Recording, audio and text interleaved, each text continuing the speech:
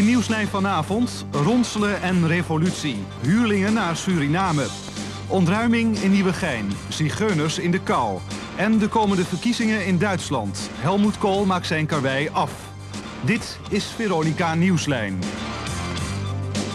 Veronica Nieuwslijn, dames en heren, goedenavond.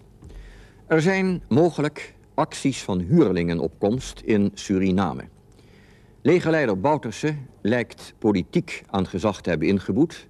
Na de eerdere uitwijzing van onze ambassadeur zag hij zich onder druk van vooral de oude politieke partijen afgelopen week genoodzaakt een soort liefdesverklaring aan het adres van Nederland af te leggen. Maar militair gezien heerst er een padstelling. Brunswijk zit in Oost-Suriname, Bouterse zit in Paramaribo en bij elkaar kunnen die twee niet komen. Maar Bouterses tegenstanders zitten niet stil. En als de Surinaamse dictator zegt dat er in ons land acties tegen hem beraamd worden, dan zou hij wel eens gelijk kunnen hebben, al staat de Nederlandse overheid daar ongetwijfeld buiten. Nieuwslijn kreeg lucht van een voorgenomen expeditie naar Suriname, gericht op omverwerping van het bewind in Paramaribo. Een eerste aanknopingspunt vond collega George Mustard in Engeland.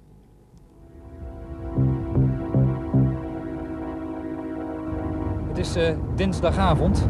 We zijn op weg naar een hotel in Liverpool, Engeland.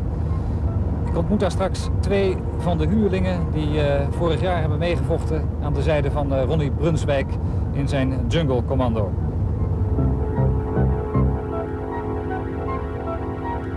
Van verschillende kanten hebben we de afgelopen dagen aanwijzingen gekregen over een uh, op handen zijnd transport van wapens en huurlingen ter ondersteuning van uh, Brunswijk.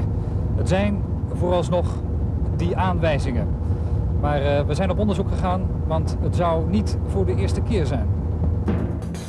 Juli 1986. 14 Amerikanen die op het punt staan een staatsgreep te plegen in Suriname... worden gearresteerd bij de luchthaven van New Orleans. De FBI vindt een grote hoeveelheid wapens van Israëlische en Amerikaanse makelij. De huurlingen verklaren later tegenover een Amerikaanse rechter... te zijn geronseld door ANZUS, een stichting onder leiding van George Baker.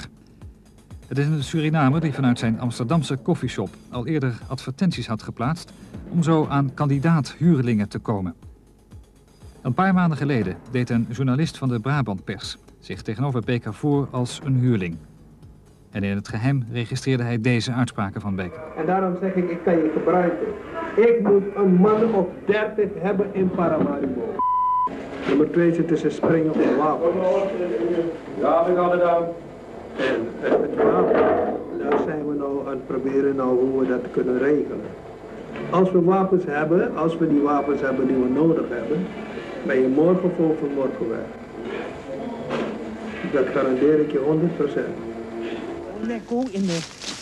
Vorig jaar oktober zorgt Beker ervoor dat zich drie blanke huurlingen bij het Jungle Commando van Ronnie Brunswijk zouden voegen. Samen met deze drie en later nog twee huursoldaten slaagt Brunswijk erin de militairen van bevelhebber Bouterse grote verliezen toe te brengen. De mars naar Paramaribo leek nog slechts een kwestie van enkele weken. Het zag er naar uit dat het doek voor Bouterse definitief zou vallen.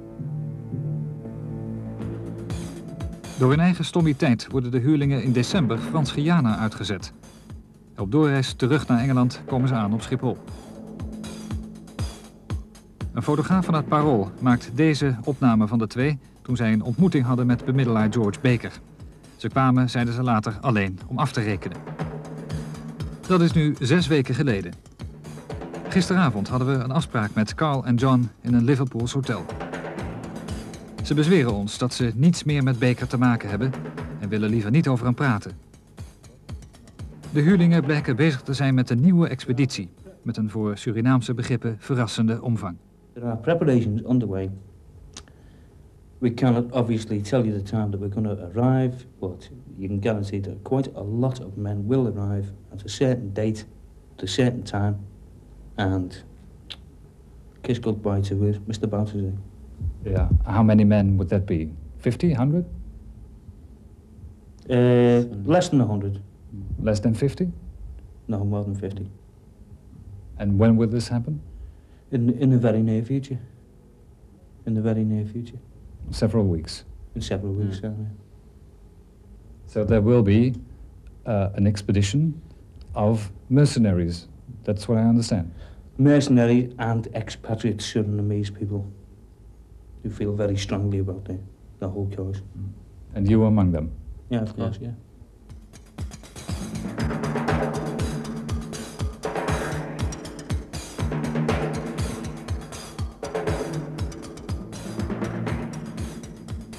Uh, what sort of weapons is uh, Brunswijk uh, working with until this moment? Almost nothing. Almost nothing. He's holding off the whole Suriname army with uh, guile, guerrilla tactics, and common sense. And what sort of weapons? uh, shotguns, FALs, identical to the Belgium FN, uh, Uzi, AK, um, Explosives. explosives, and that's about it. What sort of weapons will you bring in when you enter Suriname in a few weeks' time? anti-tank weapons. LAWs, which are light anti-tank weapons, they're rockets. Anti-tank mines. We'll just bring the whole lot of them down to complete nothing. Complete nothing. We'll stop the whole lot in one fell swoop. It sounds like uh, this is not going to take very long. No, it's No. not going to take very long now. How long do you expect after landing in Suriname? For us to uh, to take control. Once we're actually in the country, um, it shouldn't take us more than a week to take control of the country. It shouldn't take us more than a week Why would it be so easy? Because there's no resistance. There was no one we were there, as such. But Boutus is still in Paramaribo. I know, but you must remember that a uh, a lot of the um, a lot of his forces here, a lot of the army there are all young boys. They don't want to fight, and they definitely don't want to die. They're only in the army because they're doing their national service. So if they have any sense, hopefully they uh, they should either surrender or um, or run.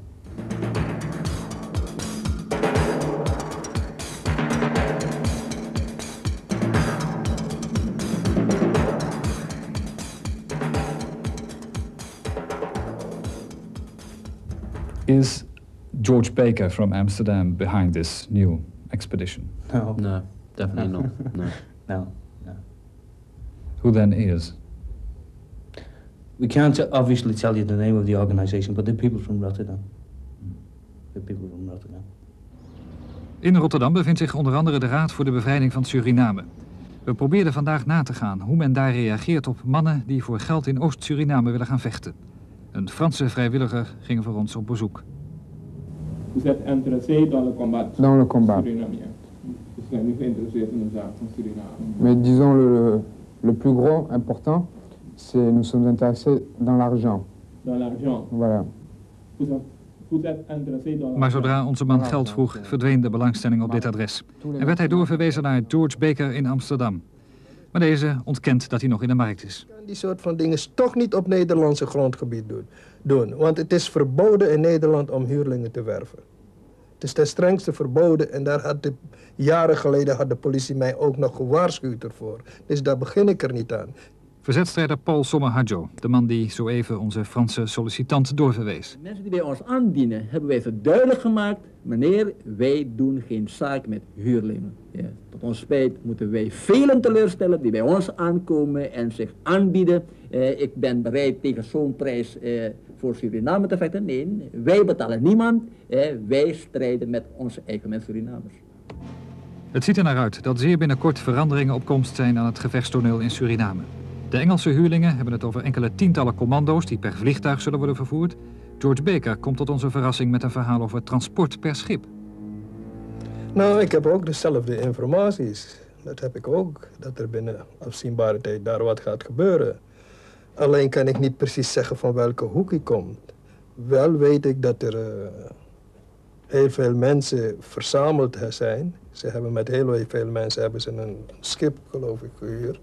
En ze zijn van plan om weg te gaan. Bent u daar zelf ook bij betrokken? Nou, niet helemaal. Ze hebben mij wel opgebeld, maar ik heb gezegd nee. Een schip met wapens en huurlingen bestemd voor Brunswijk. Dat zou betekenen dat er bijna tegelijkertijd twee expedities in voorbereiding zijn. There is word going around in Holland that a ship is going to leave very shortly with a lot of men on board, and they're going to arrive off the coast of Suriname, and they're going to do this and they're going to do that. As far as John and I know, it's It's rubbish. it's a lot of, lot of garbage. Why? Why? Uh, why? A thousand reasons why. It's just a load of garbage. Can I just say that? The people that you're talking about are a load of garbage. They, they, they have no more interest in the people of Suriname as I have in the people of Hong Kong. Komt er spoedig een doorbraak in Brunswijk strijd tegen Bouterse? En wie zal daar dan voor zorgen? Dat er in veel kringen over gesproken wordt is wel duidelijk. Maar zullen de voorspellingen uitkomen? En spreekt men überhaupt wel de waarheid? We, we're returning because we made uh, a promise to a man, which is Ronnie Brunswick. We said we will stick to with him till the end, and it's obviously it's not his end. He's still there. He's still hanging in there, and we will return and we will do the business for him. And you say the end is near. The end is near. Yeah. yeah. Zojuist heeft het officiële Surinaamse persbureau SNA bekendgemaakt dat een ex-diplomaat van de Nederlandse ambassade in Paramaribo actief is als agent van Brunswijk. Het gaat om onze voormalige militaire attaché van Tussenbroek, die nu in Frans-Guyana verblijft. De Nederlandse regering heeft deze bewering ontkend.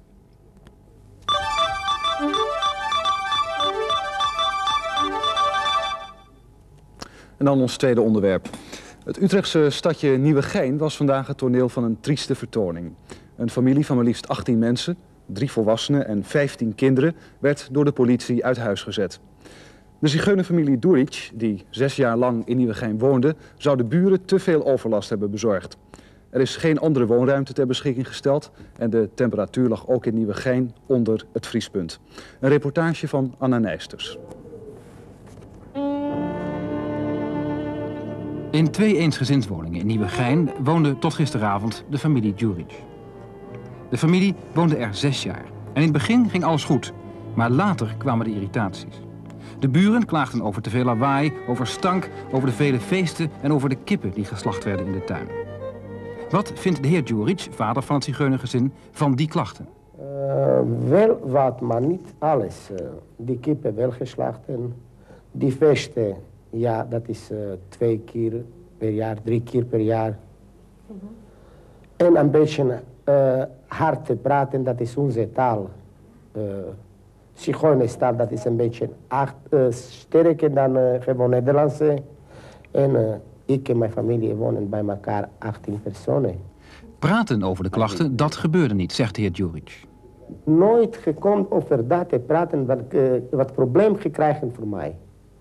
Nooit, wanneer komt ik zeggen, ja, is gekomen en zeggen voor mij, Milan, doet niet dat, is niet mooi zo, dat niet goed. Uh, en dan misschien ik kan stoppen. De buurtbewoners legden hun klachten over de zigeuners voor aan de rechter. De meeste bewoners deden dat overigens anoniem. En die rechter bepaalde dat de familie Djuric de huizen moest verlaten. Bij de heer Djuric heerst onbegrip over deze gang van zaken. Nee, mag niet dat. Je moet toch praten met mij. Niet uh, zo zonder mij, dan ik weet, weet niks. Dan je gewoon uh, schrijven. En ik weet niks. Wat is er fout gegaan volgens de heer Bonen, advocaat van de zigeunerfamilie? Ik heb begrepen dat deze mensen ook heel lang heel goed met hun buren zijn omgegaan.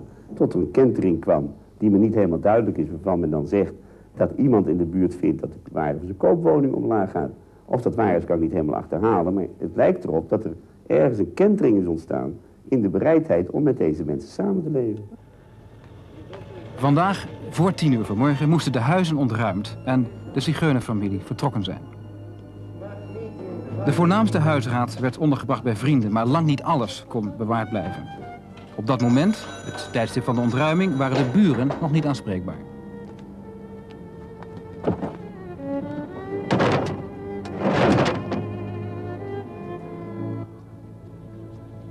Een overhaast vertrek dus vanmorgen van de zigeunerfamilies. Een vertrek dat volgens advocaat Bonen volstrekt zinloos is. Maar als je dat vonnis dan hebt en het is het weer wat het nu is, gewoon ijskoud... dan moet je je gewoon realiseren dat je geen 18 mensen op straat kunt zetten. Dat moet uitgangspunt zijn in je denken. Dat kan niet. Maar de woningbouwvereniging, eigenaar van de huizen, vond dat het best kon. Men wilde een snelle ontruiming. De heer Zandbergen van de woningbouwvereniging Onze Woning. Wij vinden dat je zo'n vonnis dus moet uitvoeren. Dus wat mij betreft is heel duidelijk dat je moet zeggen van de mensen moeten uit deze woning. Nadat je heel lang en heel serieus bezig geweest bent om te proberen hen op andere gedachten en tot ander woongedrag te krijgen.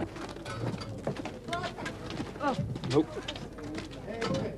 Ik vind dat als je deze mensen wilt huisvesten in Nieuwegein, dan moet je misschien voor een aantal van die zigeunergezinnen denken aan een soort woontussenvoorziening in de vorm van een, eh, een woonwagenkampje. Dat is een oplossing waar tot nog toe niet aan gedacht is. Wil je die sloten, man, staat er. Is die sloten hier. Ik heb niet rest, nur die twee sloten, ik heb maar. Dat is. En, uh, sorry.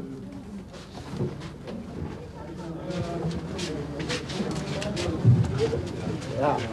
Na tien jaar, na tien jaar werken, bijna elf jaar in, ne in Nederland. Dat moet verlaten die huis. Niet elf kinderen, kleine kinderen, moeten op straat zitten. Dat is heel goed voor die zigeuners. Deze ontruiming wilde burgemeester Fliek van Nieuwegein niet voorkomen.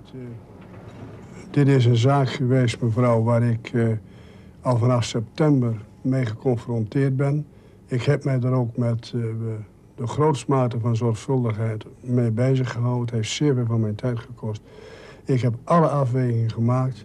En uh, er is een bekend gezegde. Hij die niet getwijfeld heeft, heeft nooit nagedacht. Nou, ik heb vaak getwijfeld, maar ik heb ook heel diep nagedacht. En ik heb uiteindelijk alles voor's en alle tegens wegende... geen andere oplossing gezien dan dat nu te doen. Het kan anders. Maar enkele kilometers verder, in de stad Utrecht... zijn er nauwelijks problemen met de gelegaliseerde zigeunerfamilies.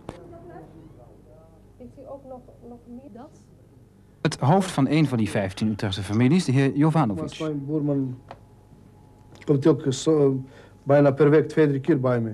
En ik uh, kom ook soms bij hem koffie te nemen en mm -hmm. zo praten een beetje. Mm -hmm. Maar jij zou, zou dat aanpassen van buren onder elkaar niet zo zijn dat het van twee kanten komt? Dat de Hollanders ook een beetje moeten geven, zich ook aan moeten passen? Als buren gaat het toch met elkaar? Ja. En dan heb je er ook geen moeite mee. Zigeuners die hun huis uitgezet worden, het is in Utrecht nog nooit voorgekomen. Integratie van zigeuners is dus wel degelijk mogelijk volgens de Utrechtse wethouder Van der Sluis. Ik denk het wel. Op basis van de ervaringen die uh, wij hier in Utrecht hebben opgedaan, kun je dat wel zeggen. Het gaat met de meeste families uh, vrij goed. Maar is dat wel iets wat te realiseren is binnen drie, vijf jaar? Het is niet binnen een paar jaar te realiseren. Je moet daar wat meer jaren voor nemen. En je moet er natuurlijk van, van alle kanten heel veel moeite voor doen. Kan de zigeunerfamilie Jovanovic begrip opbrengen voor de irritaties in Nieuwegein? Begrijp ik niet. Zo goed, omdat uh, wat ik denk, dat, uh, dat kan, kan helemaal niet uh, zijn. Omdat met 18 mensen, een hele familie van 18 mensen op de straat zelf, kan wel misschien problemen hebben met boeren en zo. Dat kan wel misschien, dat is niet iedereen hetzelfde, kan wel zijn. Maar ook als moet je weg van de huis zetten kan het niet op straat. Moet die andere oplossing zijn. Van die, moet die burgemeester of iemand, weet ik niet wie, moet die dat oplossen van hem. Na drie jaar bleek er dus voor Nieuwegein geen andere oplossing. Het moest uitzetting worden. De advocaat van de zigeunerfamilie verwijt burgemeester Fliek van Nieuwegein laksheid in deze zaak. Hij heeft twee groepen van mensen met verschillende culturele gedragspatronen in zijn gemeente. En ik denk dat het zijn taak is om enige wijze te bemiddelen om die bij elkaar te brengen. Dat is de bedoeling geweest van het besluit van 1977, integratie van de zigeuners in de Nederlandse samenleving. Ja, dat bemiddelen, is dat niet gebeurd? Dat bemiddelen, ja, als het wel gebeurd was, was dit niet gebeurd. Dus ik denk dat er niet, als er al bemiddeld is, volstrekt onvoldoende bemiddeld is.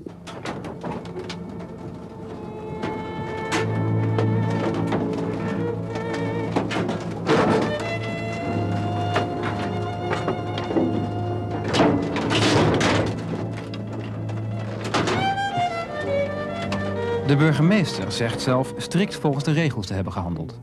Uh, er is natuurlijk zeer nadrukkelijk hier een uh, normale procedure gevoerd... die uh, in alle andere gevallen, die alle, alle andere gevallen die ik in deze gemeente heb gehad... precies net zo is gegaan. En ik heb er groot mogelijke problemen mee dat men dit nu in de pers, in de media... alsmaar tot het zigeunerprobleem van Nieuwegein wil U had het niet menselijker kunnen benaderen? Nee, Ik heb, eh, de, ik heb de regels toegepast zoals die toegepast moeten worden... nadat alle, alle pogingen om mensen tot reden te brengen zijn mislukt. Huisuitzettingen, mensen dakloos, bevordert dat het integratiebeleid van zigeuners? Integratiebeleid van zigeuners is op dit moment hier niet aan de orde, mevrouw. Daar heb ik al meer gezegd. Men probeert iedere keer vanuit uh, uh, verschillende invalshoeken om dit als een gevolg van het, zigeuner, van het zigeunerbeleid te, te zien. Dat is geen gevolg van het zigeunerbeleid. Er zijn ook talloze goede zigeunergezinnen. Net zo goed als er talloze goede Nederlandse gezinnen zijn en talloze slechte Nederlandse maar gezinnen geeft u zijn. nou eens antwoord op mijn vraag. Is huisuitzetting, mensen dakloos maken, bevordert dat het integratiebeleid van zigeuners? Want Dat- we hebben wel met een zigeunerfamilie te maken. Toevallig is dat deze keer een zigeunerfamilie en morgen is het een Nederlandse familie. En het heeft dus met integratie niks te maken. U wil, u wil mij laten zeggen dat hier een integratieprobleem aan de orde is. Naar mijn gevoel is het integratieprobleem hier niet aan de orde. Hier zijn doodgewoon twee families die overlast veroorzaken. En daarmee is voor mij de kous af. Er is geen vervangende woonruimte voor de familie Djuric. Wel een voorlopig onderdak in de Nicolaaskerk. En de vroegere buren intussen halen opgelucht adem. Blij dat ze weg zijn? Ja, natuurlijk.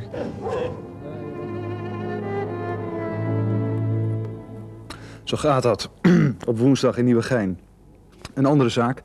Het zal u niet ontgaan zijn dat Nieuwslijn 18 minuten later dan gepland is begonnen. Dat komt omdat de staatsloterij wat is uitgelopen in Villa Valuta. En dat betekent ook dat het programma van Jan Lenverink, Reur, wat later begint dan eerder was aangekondigd. Jan Lenverink is hier rond de klok van half twaalf.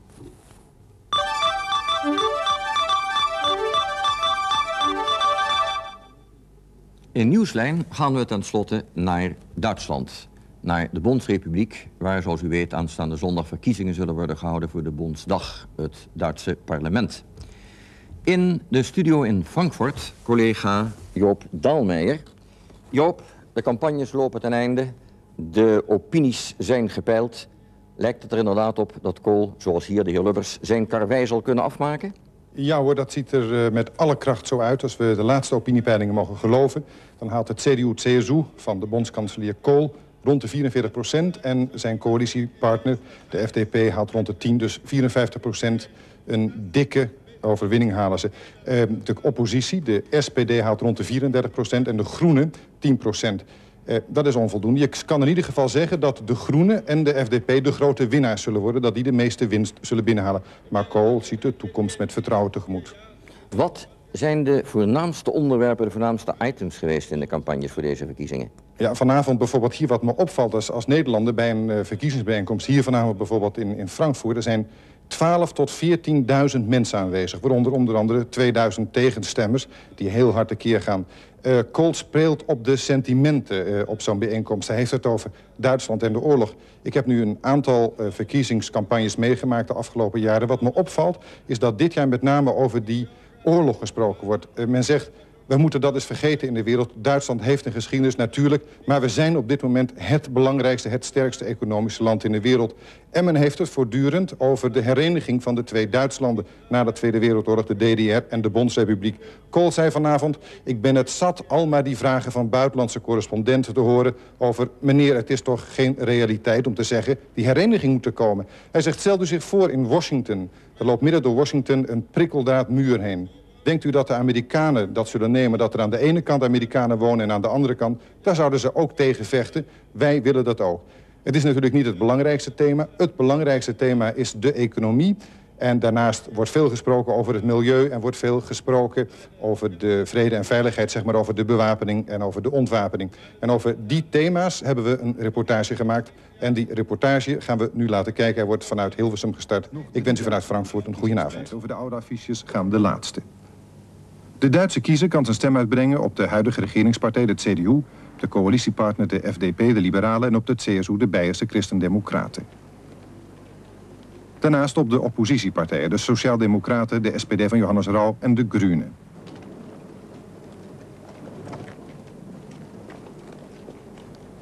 Voor de Duitsers is de keuze groter. Tal van kleine partijen van uiterst rechts tot uiterst links doen ook mee.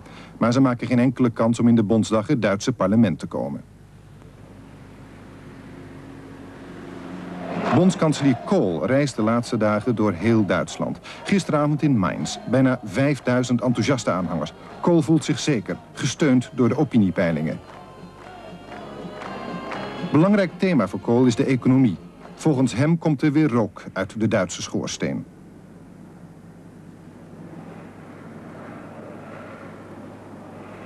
De Duitse industrie exporteert meer producten dan ooit. Er is zelfs sprake, zo zeggen de christendemocraten, van een soort modern nieuw Wirtschaftswunder. En niet alleen de industrie is sterk, ook de Duitse munt is keihard.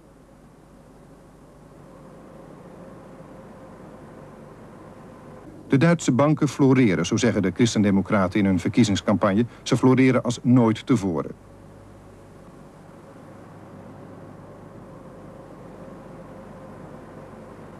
En op de beurs blijken de aandelen van Duitse ondernemingen veel gevraagd. Duitsland, zo zegt de CDU, Duitsland staat aan de top van de wereldeconomie.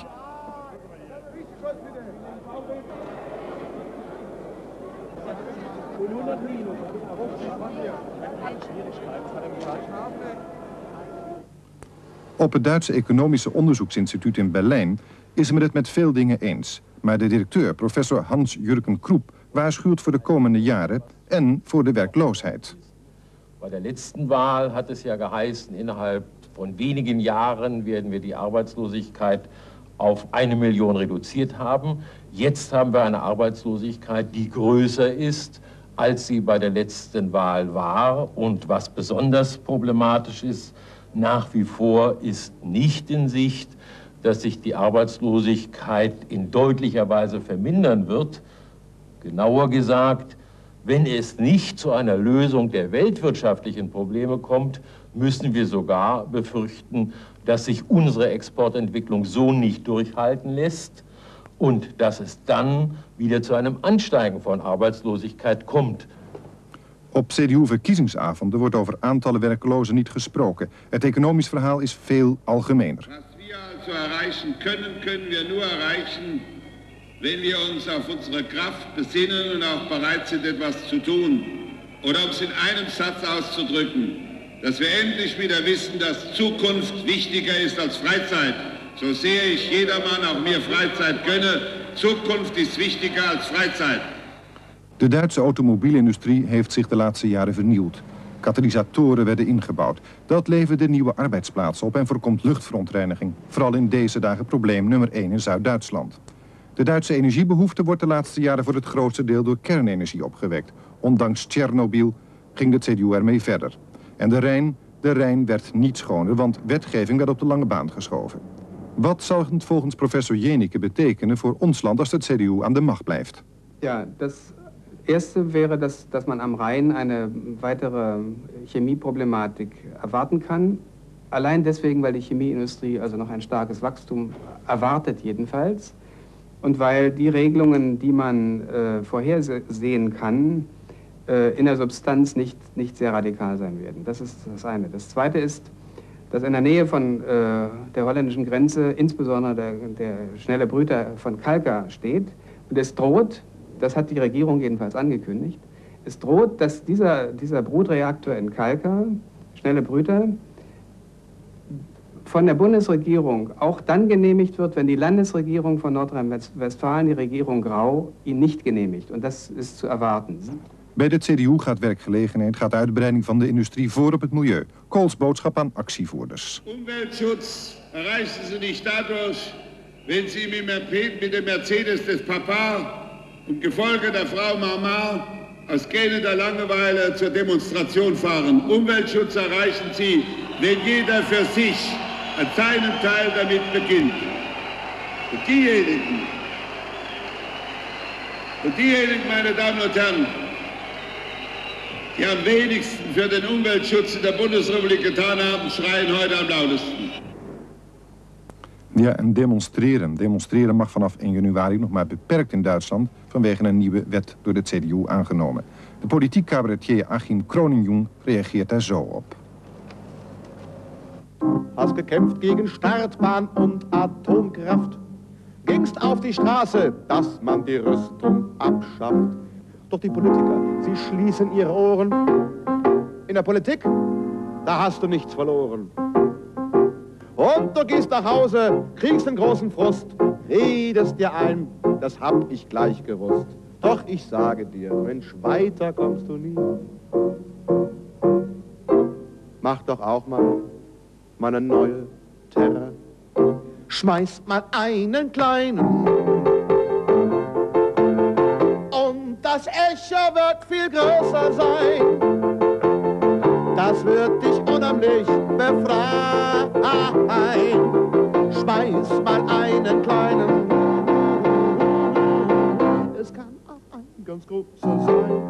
Oh Baby. Hauptsache es ist nur ein Stein. Baby, erst nur das Klirren der Gläser. Das Glücksgefühl ist nicht zu beschreiben.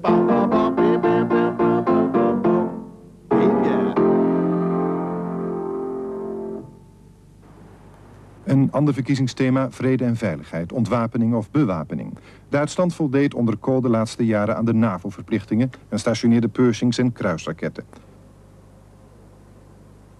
Wat zal, als de CDU aan de regering blijft, volgens professor Mechtersheimer de komende vier jaar gebeuren op defensiegebied? Ich fürchte, dass der Weg hin zu einer gemeinsamen europäischen Nuklearstreitmacht beschritten wird. Wir müssen deswegen ganz vorsichtig und auch das Ausland ganz äh, kritisch beobachten, was im Bereich der Plutoniumswirtschaft in der Bundesrepublik geschieht. Das ist das äh, Stichwort Wackersdorf, die. Aufbereitungsanlage und Hanau natürlich auch. Äh, da fürchte ich, dass früher oder später, und das könnte schon in den nächsten vier Jahren passieren, die Bundesrepublik, wenn auch nicht gleich mit äh, Waffen selbst, aber doch mit Finanzierung, mit Zielplanung, mit Konzeption in eine westeuropäische atomare Struktur eingebunden wird.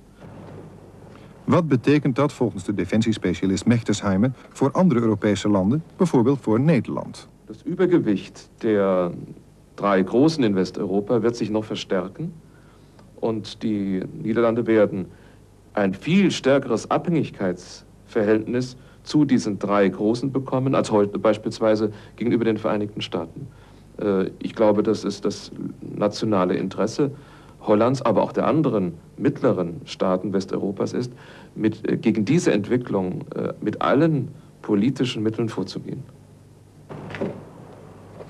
Kool geeft onomwonden toe het liefst vanuit een overwichtspositie veiligheidspolitiek te bedrijven. Wir wollen das. Frieden schaffen mit weniger Waffen ist ein erklärtes Ziel unserer Politik. Nur eines muss klar sein. Hier im Lande wie draußen. Freiheit gibt es nicht zum Nulltarif. Und wer glaubt, durch einseitige Abrüstung die Sowjets beeindrucken zu können, ist ein Tor. Und das ist das Schlimmste, was man über einen Politiker sagen kann.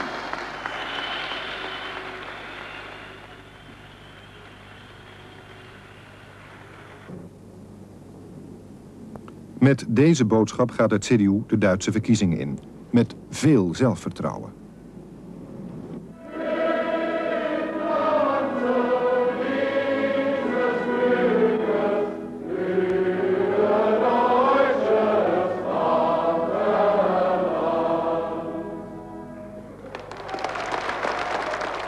Toch nog even de vraag. Is Kool nu al zeker van de overwinning van de verkiezingszegen aanstaande zondag? Warten wir mit Ruhe ab bis zum, bis zum Sonntagabend. Sieht ganz gut aus.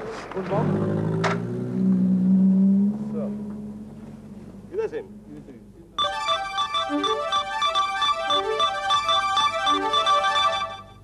En dan nu Kijkerspost. We hadden vorige week een korte uitzending met daarin maar twee reportages. Over uw reacties kunnen we dus ook kort zijn. De beelden die we lieten zien van het ondergesneeuwde Terschelling... lokten vooral reacties uit van mensen die vroegen om meer aandacht voor de dieren in de winter. Dat er ondanks de barre nog schapen onbeschermd buiten stonden is fout, zo schrijft Bertus van Gool uit Dongen. Begrip opbrengen voor mensen, hartstikke mooi, maar waarom ook niet opkomen voor die schapen? En Mieke Tijlstra uit Den Bosch sluit zich daarbij aan. Veel beesten en vooral ponies staan vaak nog buiten. De winter lijkt voorlopig nog niet voorbij, dus zet de beesten binnen. Vorige week gingen we ook in op de toen nog dreigende stakingen in de Rotterdamse haven. De achteruitgang in de stukgoedsector heeft ertoe geleid dat er ondanks eerdere afspraken 350 man ontslagen moeten worden. Zo lieten de havenwerkgevers in onze uitzending weten. De heer Kram uit Hendrik Ido Ambacht heeft begrip voor het werkgeversstandpunt. Principeafspraken tussen bonden en werkgevers over werkgelegenheid moeten wel kunnen steunen op economische realiteit. De Rotterdamse haven is geen werkgelegenheidproject.